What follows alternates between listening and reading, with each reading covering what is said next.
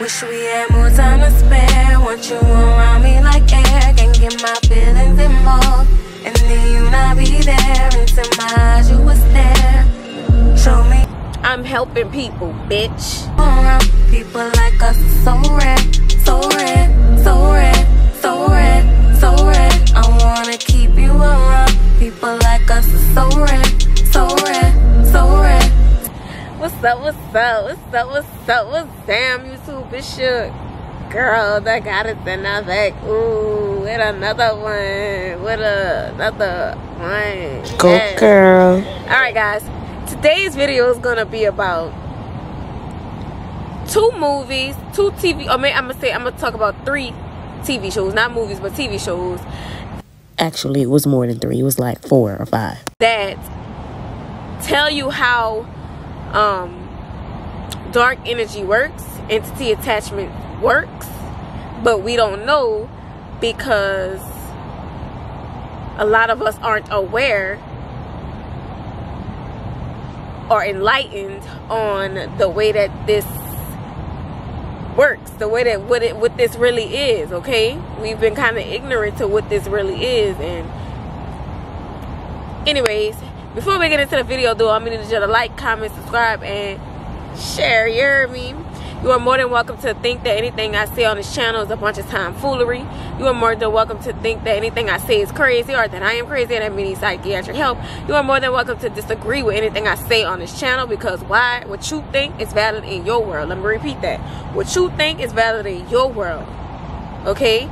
So if you think fairies and mermaids are real this is the channel for you. You think if you think Bigfoot and Sasquatch is real, this is the channel for you. If you think aliens exist, this is the channel for you. This channel is about freedom of thought. Think how you want to think. I'm not here to persuade you to believe what I believe. I'm just here to provoke thoughts. Shake some shit up a little bit, okay? Alright. Now let's get into the video. Alright, so today this video is going to be about shows that I've watched that showed and taught us what in negative entity or dark entity attachments are and how they work. And then I'm gonna talk about one show that's about twin flames or what I what I believe to be the representation of what twin flames are. Okay, so everybody went crazy over they clone Tyrone. But there have been plenty of other shows that showed us things, that told us things about what about what this reality really is, but nobody talked about those.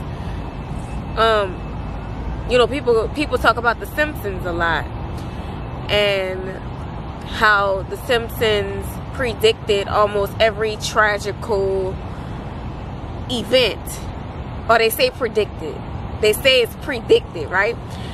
By every tragical event that has happened to us way, way before it happened.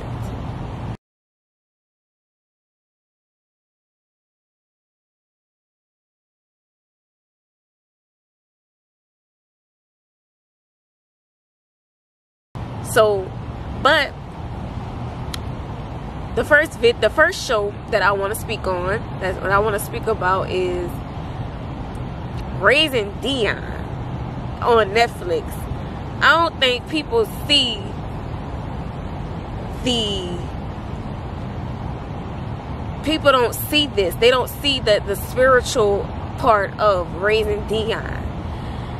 So this gonna be a spoiler alert if you have never watched the show. But Dion is a young boy who he is considered a power uh, kid, a kid who has powers, right?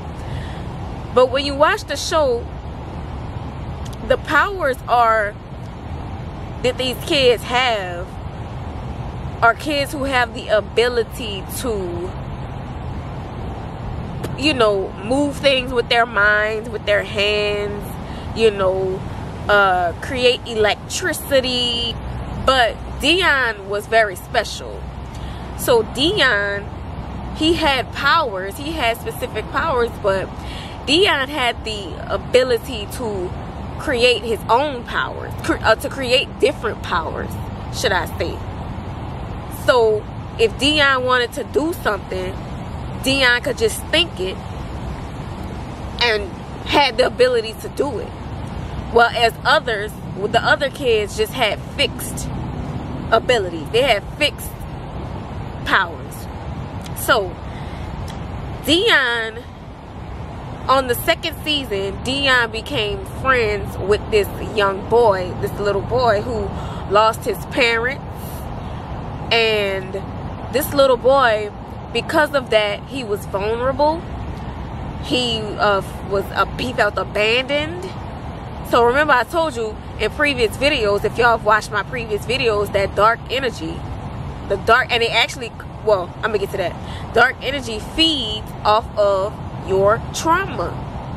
It feeds off of it. And I'm about to show you, I'm about to explain to you how in raising Dion, how it how it shows that, how it very thoroughly explains and and uh teaches how the entities feed off your trauma. So yeah, the guy, the little boy, yeah, he felt abandoned. He felt all of these things, right? So in the first in the first season, Dion lost his dad to the darkness. They call it the darkness on the show. Um, you know, the the the darkness is this like in the show. It's this dark energy that's like that seems very that it's like extremely strong and extremely powerful. And it has the ability to persuade people into doing what it wants it to do to create destruction. So Dion lost his dad to that darkness. And in the second season the little boy the darkness attached itself to the little boy and the darkness would say things like um so like i said it would feed off its trauma. So the darkness would tell the little boy like because the, the darkness is trying to get to dion because dion is considered he's a special one. He's like the chosen one right? And dion uh the darkness wants to destroy dion because dion is its is its is the threat Dion is its kryptonite. It is it is the it is a threat to that darkness because Dion is so powerful. So anyways, the the little kid, I mean the darkness used the little boy to get to Dion. So like I said, the the the darkness used like the God, the boy, the little boy's uh, parents dying, his uh, the, um, being abandoned, and all of these things to and told convince the little boy to blame Dion. Dion is the reason why. Because Dion, you know what I'm saying? Like really, really persuading this little boy's mind into using his abilities to manipulate Dion. And then promising the little boy, I forgot what the little boy's name was, but promising the little boy things if he did these things to Dion. And the little boy would create, like, try to create destruction and try to destroy, you know, Dion. Kind of made the, it fed the darkness. The little boy fed the darkness by believing in it, feeding it. He fed it. So he believed the, the darkness. He believed what the darkness was telling him. He was com- he was easily persuaded. He was convinced of what this darkness was telling him to do. And in in that and as a result of that the little boy tried to help this darkness destroy Dion and his family his mom and you know whoever. But at the end of the last the last episode the little boy he was mentally he became mentally strong enough to defeat to not let that to to to uh, become aware enough to be strong enough to know that Dion has done nothing to him but be a good friend to him. And that it wasn't Dion's fault and that Dion and his mother loved him. So even at the end he stopped listening to that darkness and that and, and once he stopped listening to that darkness the darkness faded. Or you know it it it detached itself from it detached itself from uh the little boy and tried to find its and went to try to find its next victim. So anyways if you have not watched raising dion watch that. It's really really fire. It's considered a little kids movie but it is far from little. It's far from childish it's far from kitty. It's not kitty at all. It's really actually good. It's it's enlightening. And i was like oh wow i'm gonna use this for a youtube video. Create for content for my youtube channel. So that's raising dion. All right so now we're gonna talk about the princess and the frog all right? So as you know the princess and the frog was based well if you haven't seen the movie it's based in new orleans louisiana okay? Yeah french quarter voodoo town. Like i be saying on all my videos right? So the prince he wanted he was you know trying to look for a princess a wife. But he did not want an arranged marriage. He wanted to pick a wife that he actually was in love with. So, the uh, Tiana, she wanted her enough money to open her restaurant. And so she got the idea of, you know, what if I marry a prince? Or somebody gave her the idea. I don't remember. I haven't seen the movie in a while, but somebody gave her the idea like, oh, there's the prince. You can marry the prince. He got enough money to, you know, give you what you want. So, anyways, the prince and his servant or whatever butler comes across this character called the Shadow Man. And he is the voodoo priestess. So he invites the prince in. And so into his little room or whatever, wherever his little place of work is in the French Quarter, right? And so the voodoo man is saying, I could give you whatever you want. But he didn't tell the prince that what he wanted came with a catch. So you know how Disney Channel have their little songs. The song that he was singing was called Friends on the Other Side. So he's like singing the song, got my friends on the other side. And then if you take a look around the, the, the little room, there's always there's these a bunch of these little entities like dancing around. Like I got friends on the other side, these little spirits, these little dark these little dark spirits. And there was even a part where he uh, looked like he was talking to his shadow, his shadow self. So if y'all are if y'all know what, or if y'all believe in multi-dimension, that we're multi-dimensional beings, and I explain the multi-dimensions and the dimensions in my video titled, If I'm Crazy, You Crazy Too. Y'all go watch it. Like, comment, subscribe, and share. Hear me. but anyways, um, I explain that. So if you want to know more about that, go to that video, watch it. But anyways, so I explained we're in the, that we're in the third dimension. So your shadow self or your lower self will be like in the second dimension, right? Your your shadow. So he's talking to his two dimensional self. And you can see you could see that he like consults like he operates. So I feel like that was representation of the fact that he operates from his shadow, from his shadow self. He consults his shadow self. He makes decision based on his shadow self, right?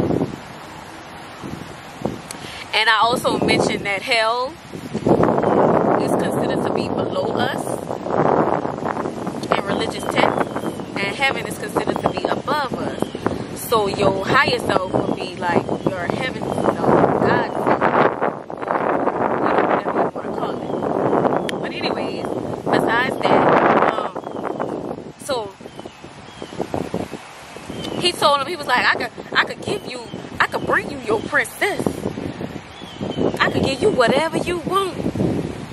So so he gives uh he does the little spell to bring him to toward Tiana. He told Tiana, "Hey, I can I can uh you can be with a prince. All you got to do is kiss the frog." So what they do is they make deals with these entities. But it always comes with a catch. They always want something in return. So I talked about people giving them offerings and you know, uh you know, certain things in return in exchange for the manifestation, the material that you want to be materialized. So in real life, that would come, that could come in the form of, well, in the Princess and the Frog, they turned into frogs. That was the catch. But in real life, that could be, that could manifest itself as a death in a family, a soul, a sacrifice, or it could come with your, you know, it could attach itself to your soul, to your spirit. You know, it, I give you this, but it in exchange for you, for your soul. Or somebody, somebody, you need to sacrifice something for me, or you know, whatever it may be.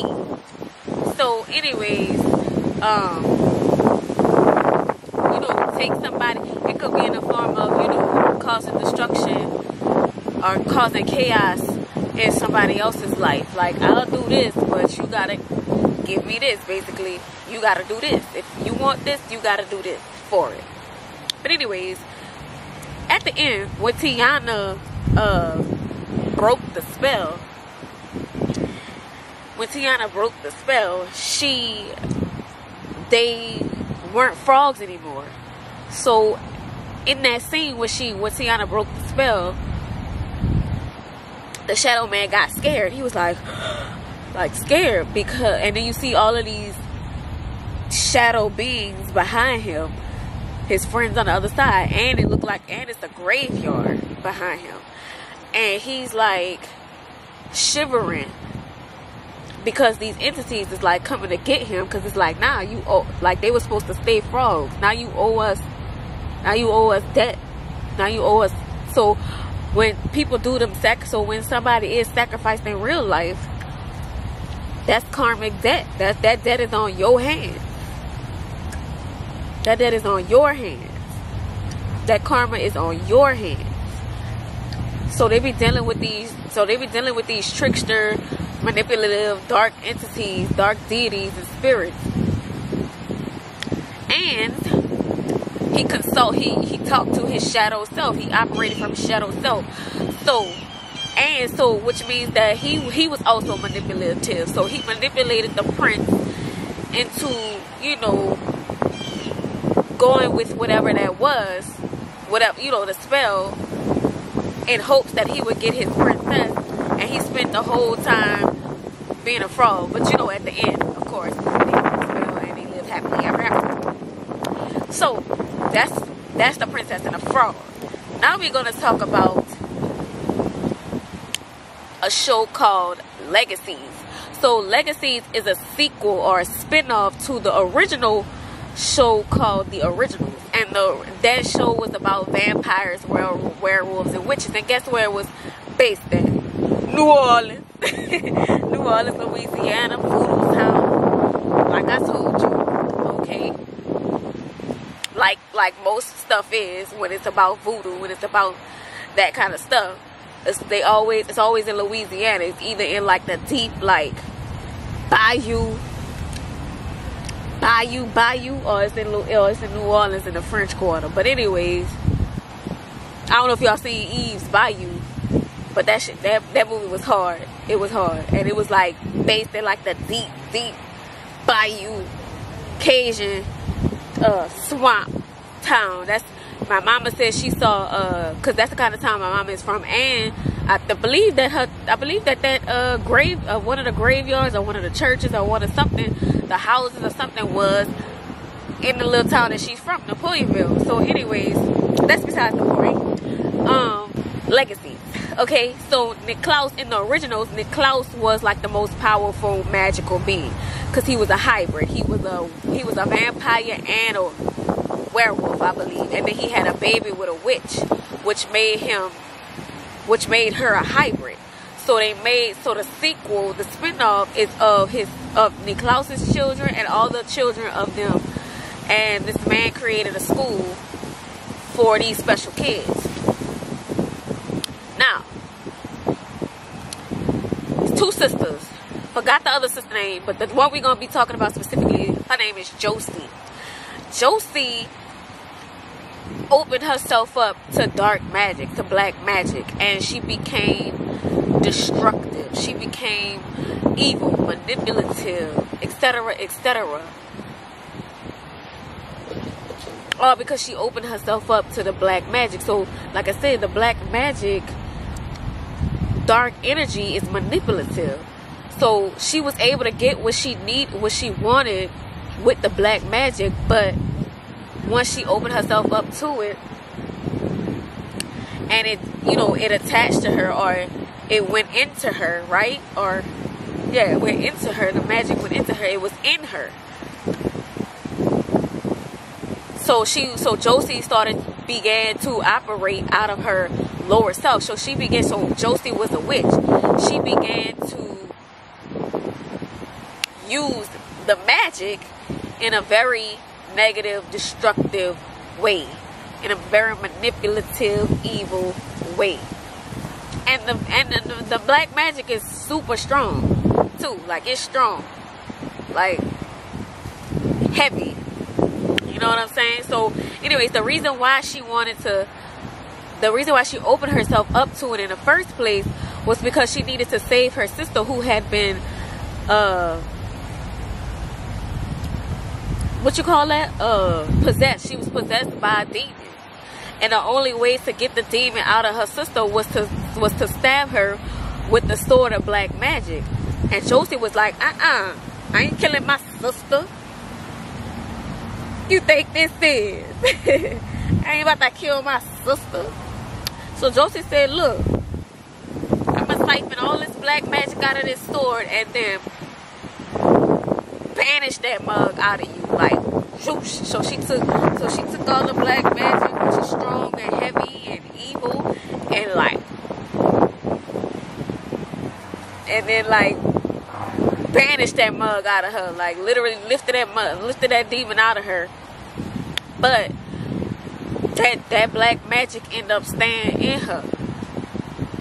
They didn't know how to get it out, but eventually she became strong enough mentally, mentally strong enough. Because like I said, that dark magic, it is manipulative. So it'll feed off of like things that you know, uh, for your traumas, off of your fears, off of your insecurities and it will feed off of those aspects those shadow aspects of yourself to create anger and rage and uh you know all of these negative emotions and then you and then she started to use that energy the black magic to cause destruction but she eventually became strong enough mentally to get to detach that black magic from her to get it out of her you know and she became back josie so that is another one. Now we're going to talk about the school of good and evil. Now I talked a little bit about this one in my video titled uh, God is Everything, right?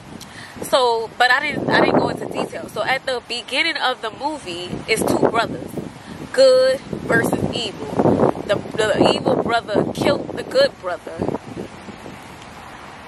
so that he could take over the school and make the world and make the school evil, make the world evil. Now, in that video, that previous video, I talked about it was two best friends that lived in a village, and one of the best friends wanted to go to that school so bad, but she thought she was going to the school for good. She was she didn't even realize that she was handpicked by evil to come to that school. Yeah, handpicked. That's why her desire was so strong to get to that school, right? So, anyways, long story short, evil, the evil brother used to come to her in visions. Like she every time she would look in the mirror, he would like appear in the mirror and tell her, feed her lies and illusions. You know, give her visions of her of her best friend saying saying certain things, but it would be half of what she said. Like the like he would he would show her half of what she said to create the illusion of the fact that to create the illusion that her best friend didn't want her no more, didn't like her no more, or thought that she was better than her because she was on a good side. So best friend, so the evil best friend fed that. She fed into she fed into what or she believed the illusion. She fed into the illusions that evil was creating in her mind and her thoughts that tried to persu- to persuade her to become this evil person and turn against her best friend. Now, of course, at the end of the movie, she became mentally strong enough to the point where she didn't feed into that evil. She didn't feed into it no more, right? And she ended up, you know, saving the school, bringing back balance to the school, or defeat, you know, killing, killing the evil brother. So basically, long story short, or to sum, not long story short, to sum up all of those movies about dark magic, that's pretty much what I've been saying in all my videos prior to this one. Go check them out if you haven't. Is that dark energy is manipulative. So when people are sending, or so when you are dealing with negative energy and you are downloading these thoughts, these negative thoughts, and you accept them as your own, and you begin to become destructive or either self-destructive or destructive to other people outside of you um, it's because you fed. It's because you fed into the negative thoughts that you, that you downloaded or and or came to your mind and was and think and was thinking. So illusions. When people do dark magic, they create. They're creating illusions, and those illusions manifest themselves as thought forms. Like I said in other in previous videos, that's exactly what I've been, been explaining in all of these videos and these movies and these TV shows have shown me that have uh, have been teaching these movies and TV shows have been teaching us that. But we were so we're only we were so focused on they clone Tyrone that we didn't see the other stuff. That we not seeing the other stuff. we not seeing the spiritual stuff that they trying to show us. We just think that that's fairy tale, but we we we really believe they clone. Like a lot of people really believe clone they clone Tyrone I mean, I mean, like really, for, and I'm not saying they clone Tyrone was like, yeah, but I'm saying there's so many other other stuff that teaches us about about uh darkness, okay? The dark energy, the stuff that I be talking about. Last but not least, we're gonna talk about Bridgerton. So Bridgerton is a representation, a show that's a representation of what I think twin flames are. So the first season was like the runner chaser dynamic. So the runner chaser dynamic on the first season was like the uh, Duke. The Duke had childhood had some childhood trauma. And that childhood trauma led him to believe that he wasn't good enough. Or you know that he wasn't yeah, that he just wasn't good enough. So he thought that his uh the Duchess, I forgot her name, her real her name in the show, but the Duchess that he married, he thought that she wouldn't love him if you know that she wouldn't really love him if she you know got to know him he really was because he was dead set on thinking that he wasn't right. So I'm gonna make this short. Long story short, the Duchess was like, Duke, I love you. Like, I love you. I don't care about whatever you think is wrong with you. I love that part of you too. You know, so he would run. He would um so prior to him saying prior to her saying that he would run. Like he would distance himself. He would try to like you know he had one foot in and one foot out because he couldn't resist her. He couldn't really resist her but he couldn't be with her at the same time because he felt like he wasn't good enough. So it was just like this runner chaser dynamic. So she's like what is wrong? What's wrong with me? She thinking it's her. She you know everything but anyways happily ever after right Stop running from me. I love every part of you. Period. And so, yeah, happily ever after. Now, second season. This is my favorite season because the second season is about the mirroring effect. The mirror, mirror, mirroring soul effect, right? So the mirroring soul effect was heavy So it's two very strong you know, so the girl came. I think her name was uh the little the younger daughter name. The younger daughter name was Edwina. The oldest daughter name was Kate. Kate did not want to get married. Kate was 26. She never married. She uh she was there really to get her her 18 year old uh sister a husband, right? Because she wanted to marry. So, anyways, long story short, the Vicon or whatever. I think that's I think that's what he was. That's his title, the Vicon, whatever. He thought that he wanted a woman based on, you know, very surface level uh things. You know, and then he was the type of person that he was the type of person that would he didn't court like he didn't go on dates with these women. He set up interviews and asked them questions like like a like a child like that's the type of person he was. He was and he was not he was very stoic. He wasn't um he wasn't like the type of person that wanted to uh be in love and he didn't want to be in love because he saw what happened to his to his mom when his dad passed. His mother his mother was like depressed for years and years and years.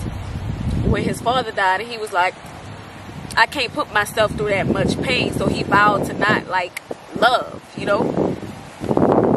So he was picking women based on like their looks based on like their uh like their looks their intellect and then like their ability to be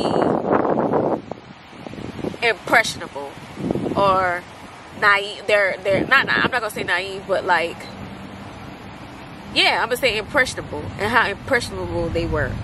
They are. They are. Right? So then he meets Kate, who is this strong, independent, uh, you know, does things on her own terms. Don't listen to what nobody gotta say. She do things by herself, for herself, whatever, right?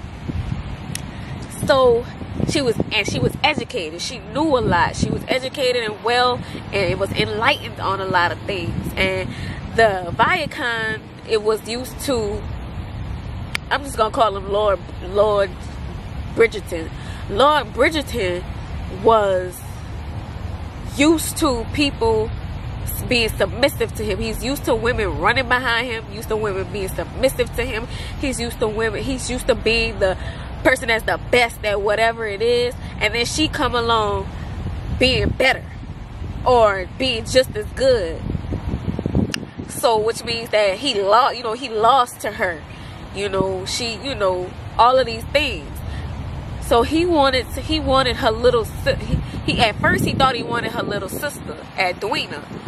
But he could not resist, even though they butt heads. So because she was so strong and intelligent and, and, and, and educated and, you know, independent, he was just, he was so, that he calls them to butt heads. Why don't you just agree with me? Why don't you just do what I say? Like every, why don't you just be like every other woman? Like, you know what I'm saying? and she like, no, I don't take orders from you. I don't take all this work you. I'm not about to bow down to you. So, anyways, so that's what he was. He was used to people just doing what he says, and him being and, and being good at everything, and being the best at everything. And she came along being just like that, just like him, and he hated it. But at the same time, he loved it and couldn't resist it. They could not even. They couldn't resist each other. They couldn't resist each other. It was like we're alike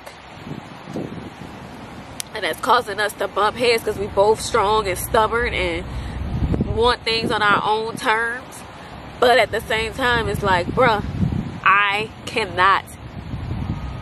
I am so attracted to you. I cannot resist you. So long story short at the end of the day at the end of the whole season they got together and lived happily ever after okay?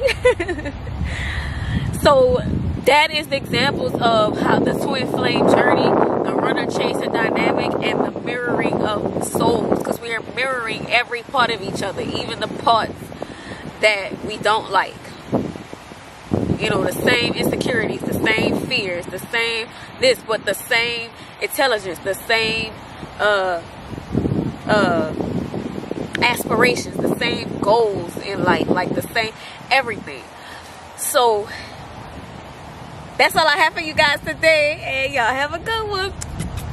And don't forget to not be a hoe today. All right? And for the hoes, let's work on stop being hoes. All right? All right.